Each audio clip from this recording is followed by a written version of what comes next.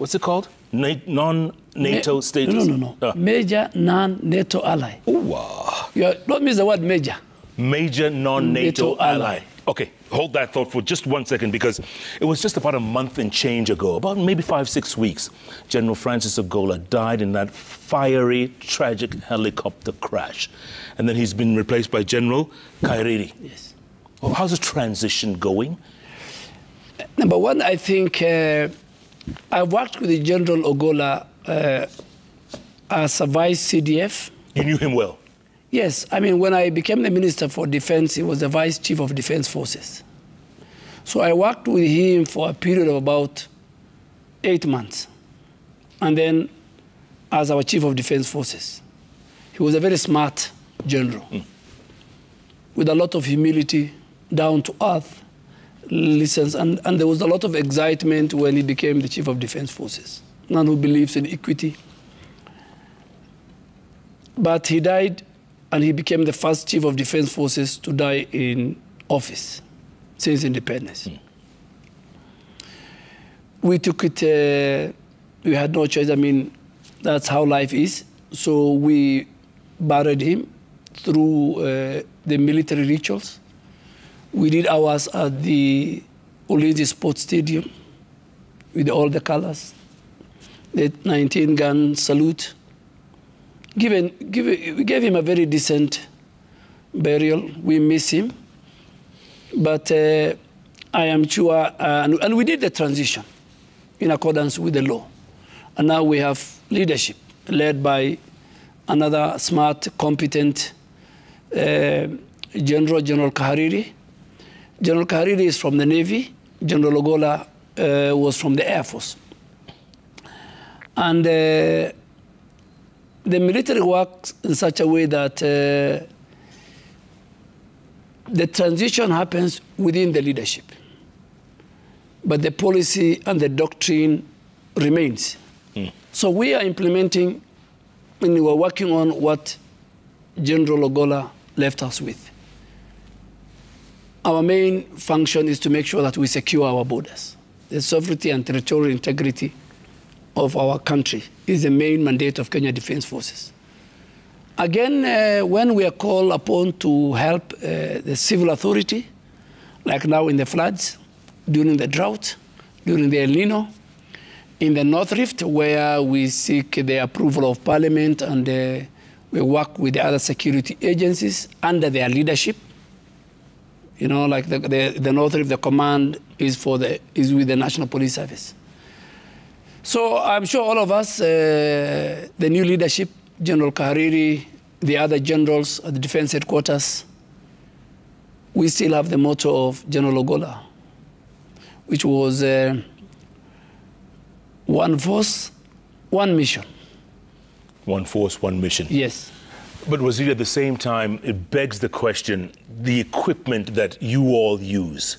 Let's face it, it's aged. It's old equipment, the helicopters, the planes, everything is old. It's you know 40, 50 years old. I mean, is is that right? No, no, no. I think, uh, uh, uh, let me make it, uh, we have a mix of equipment. And the age of an equipment does not count much if that equipment gets the right service and the right spare parts. We have a very robust men and women at the Kenya Air Force, the way we have at the, our artillery, the way we have at our infantry school, who their day-to-day work is to make sure that our equipment, all sorts of equipments, light, heavy, mechanized, are serviced and are up to the date. General Ogola, the aircraft he used, I used it a number of times. You. Yes, yes, a number of times. I think more than 15 times. Uh, Professor Kindiki used it. The Inspector General of Police used it. Mainly that after we used it when we were going to operation areas. It's a very unique uh, machine that can even fly at night. It's an operational logistic helicopter that uh, our troops use in very difficult uh, terrain and uh, in secure areas. So it was a wake-up call we, uh, our investigation and inquiry is going on, uh, done by a very competent team of uh, Air Force and other officers from other services. We are engaging and have scaled that up to the manufacturer, Bell of the US, uh, because they also have an interest. And I can tell you uh, without any contradiction that uh, as the commander in chief and the president has promised the country, we will avail a very detailed report. How soon? So, you know now because now it's outside uh, our country. We our team are now in the U.S. They have gone with all the parts, and once uh, all those information are collected, collated, a recommendation and observation is given to us, we will tell the country was it mechanical, was it uh, anything else? Hmm. Yes, I mean the death of uh, General Ogola, like and the other officers, may their soul rest in peace. Uh, that crash, we will, the Defense Council will receive it, and the Commander in Chief will receive, and the, the Kenyan taxpayers will fund our military heavily. Will have an answers, and the family and friends of General Ogola, Yeah. and the other uh, officers and servicemen. Right. Waziri, you just mentioned that you flew in that same helicopter. Many times. There were, f- there were five. And even now, I'm even now I'm flying. now you're flying. Yeah, if to, yeah. Tomorrow, if I get uh, an, uh, an opportunity to go to uh, any of our remote areas within the border, in Boni, Yeah. in North Rift, or even across the border, I will fly it. Okay. But because we have got very competent technicians, we have got very competent uh, pilots, and uh, Yeah, but there were five mishaps, I think in 2022 23, five of them. Wajir, Garissa, Lamu, North Rift. There were five mishaps. And you no, no, no, one no, of the two no, no, helicopters. No, no, and, and- and- them? and those are those are different helicopters. It's not the same. What do you mean? Yeah, yeah, it's not the same. The, the one that we had a problem during the El Nino in Wajir, that helicopter was Puma.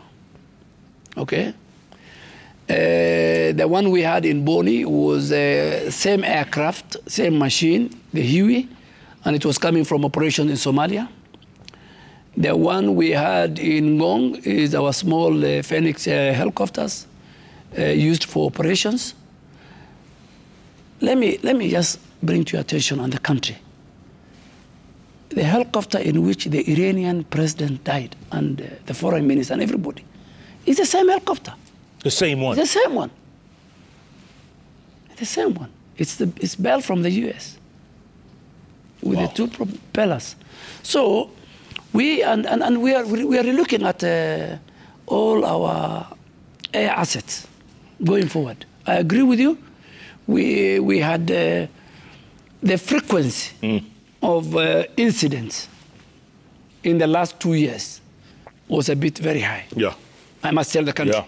And that's why at the defense headquarters, we, are, we have tasked the Air Force commander to do for us an evaluation of all our air assets so that when that one is done, do we need to buy more uh, uh, helicopters? What do we do about servicing? What do we do about training of our, helic- uh, of our pilots? Uh, it's part of an ongoing uh, thing, and I think uh, the Defense Council will uh, uh, deal with that matter, Yeah. and the Commander in Chief will give us the guidance. But speaking of which, you just got 16 new helicopters. We here from the US. Not we here. Ah. We have 16 new helicopters from the US. Are they 50 years old? We, we, we will not pick 50 years old helicopters. Before we, we get helicopters, our technical team do an assessment. But we are getting 16 new different helicopters to boost our air assets, to boost the capability of uh, Kenya Defense Forces, to protect our airspace, to carry our soldiers in op- during operations, and also for our engagement in the war against Al Shabaab in Somalia, because we have close to 4,000 plus troops serving under ATMIS. Uh, we are also getting from the US about 150 M, uh, M double uh, uh, triple triple one seven uh, armored vehicles. 150. 150. Okay? We are getting a lot of other assets for our special forces, from their body armor to Google, uh, night vision Google to their own specific uh, anti-IED uh, vehicles. So our, our, our engagement with the US, unlike many other countries, is historical. We have a very long history with the US between their, their defense forces, their MOD, their DOD, Pentagon, and ourselves. And we work with the US in five frontiers. Number one, you have seen from cadet to our top leadership. We have a robust program with the US in training our top leadership. You saw last uh, two weeks ago before we went to the US, our first three cadets are going to three of the top uh, U.S. military academies. One going to the naval, you know, uh, naval academy. One going to the best Air Force Academy. Another one going to the Land uh, Academy. Our top, from colonel to brigadiers, they go. To, and if you go to if you, if you, if you go to our defense headquarters, and if you look at the names of our our brigadiers and generals, mm. the initials it states which schools and academies, military academies have gone. So we have a very robust training program with the U.S. Two, we do joint operations with them. The same Batuk you're talking about mm. in Laikipia. About a month ago, we had 16 countries, including US, UK, uh, special forces from Somalia, Rwanda, Burundi, doing uh, an operation. So we do operation and exercises with the US. The US plays a very big role in helping us build the capacity of our institutions. And I'll just give you three examples. One, uh, I think in about a month's time, the president is going to open the only institution of its kind in our region called Counterterrorism, Counterinsurgency Stabilization Center, funded by the US and the Kenya government and the UK government. In our National Defense College, mm. a new center for strategic studies is being now built by the US to the tune of about $10 million. If you go to Manda, where now we have signed the US to invest close to $60 million in expanding the airfield, the runway, from 1.8 kilometers it is now mm. to about 3.8 kilometers. That will help even us bring some of our air assets from Laikipia Air Base. Because that kind of runway, we only have, exclusive for the military, we only have it in Laikipia Air Base. So as a country, we should not have all our assets in one airbase, strategically. Mm. So Manda will do a lot. Manda will help us surveil the whole of Western Indian Ocean, working with the U.S., with the many hangars. We are now doing it with the U.S. in that base. Because of its proximity to Somalia and to the war against Al-Shabaab, we work with the U.S. and our other partners, Europeans, in making sure that Kenya is safe, the region is safe. That we're living, we're living in a very volatile uh, region with a lot of security challenges. Yeah, and Manda was attacked by Al Shabaab a few years in, ago. Remember? In, in uh, 2020, remember? January. Yes. But let them try now. Hmm? Let them try now. It's not the Manda of 2020. It's not the Manda. Yeah. The kind of investment, the kind of security investment both us and the US have made. And, and every morning, we is, is a base that we use for even surveillance and to make sure the country is safe. It's next to Boni Forest. Correct. It's right yes. there. Yes. And that's why you have seen uh, the investment that we have put to secure the country since President Ruto came to power. And I really want to thank my colleague, Professor Kindiki, the other security apparatus, the National Intelligence Service, all of us together working in a multi-agency. Our primary duty is to make sure that we destroy the infrastructure of Al-Shabaab inside Somalia, and we secure them from entering our country. Mm. So that's why you see Boni Forest. I mean, used to have a, used to have the news every night. Every other night, correct? Yes, Kenyans killed, yeah. some slaughtered. Mm. But um, we have made sure that from our security forces, our equipment, and the best of our best, the special forces, and our assets are all in Boni Forest and in Manda, mm. Mandabis. Major non-NATO ally. Yes. What does that mean? Major non-NATO ally is a program that once you, is, is, is a US-led thing, that because of the relationship between the Kenya Defense Forces and the US Pentagon, mm-hmm. There was a feeling by the US that we must elevate Kenya to another level. And we, have now, we are now the fourth country in Africa to be designated a major non NATO ally. Who are the other three? The other three are not in the sub Saharan Africa. So we're the first country in sub Saharan Africa to be designated a major non NATO ally. The other three are Egypt, Morocco, and Tunisia, mm. mostly in the north mm. part of Africa. Mm. Why Kenya? Yeah. Why Kenya? Why was Kenya picked? Number one is because of our robust relationship. But more so, Kenya is an anchor state in our region. Kenya and the US have a very strong relationship to make sure that we secure our own country and we secure the region and face the various challenges that uh, we have in our country. You know, Al Shabaab in Somalia, all our neighborhood, uh, both the Horn of Africa and the East and Central Africa, DRC. What do we gain by being a major non NATO ally? Yeah. Number one, for the first time, we will have preference over other countries who are not members of uh, NATO, who are not members of NATO allies, in terms of acquisition of uh, uh, equipment.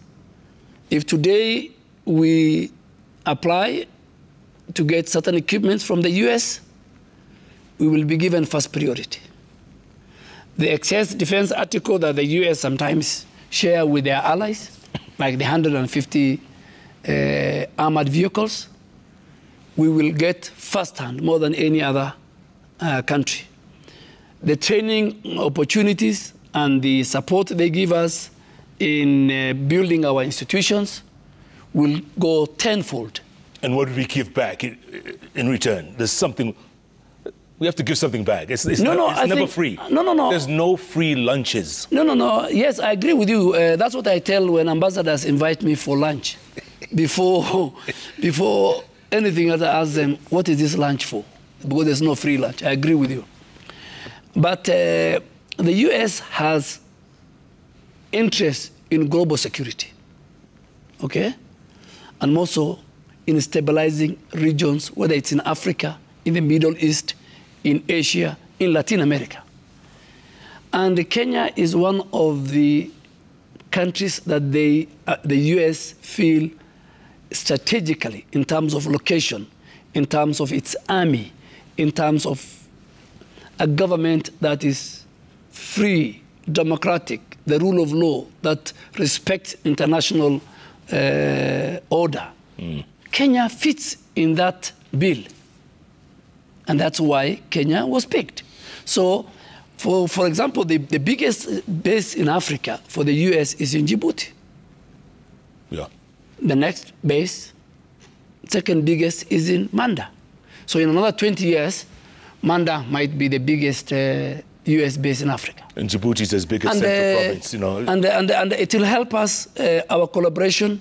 We share intelligence. We work together on the war against terror we, we, we, we train together, we do uh, exercise together. They give us uh, equipment and we buy from them some.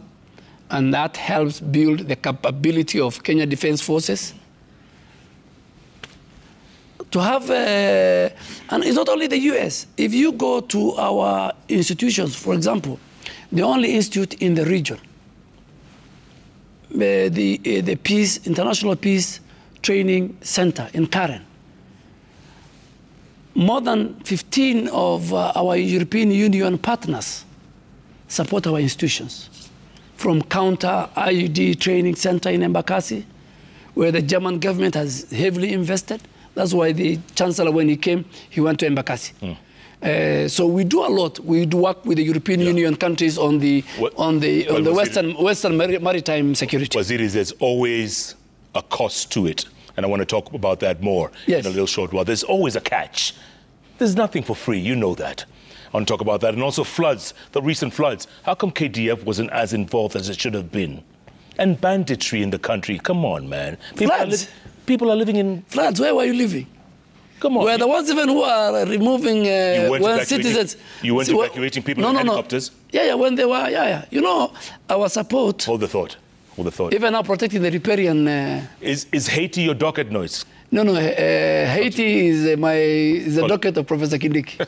You're lucky. Don't ask me questions on Haiti. You're lucky. But I, I can I can tell you for one thing. Hold on. We'll talk I about will, that in I a will. little short while. Defense Cabinet Secretary Aden Duale talk about everything. And we need to hear your comments and thoughts and questions. Is Kenya the blue-eyed boy of the West right now? Seems like it.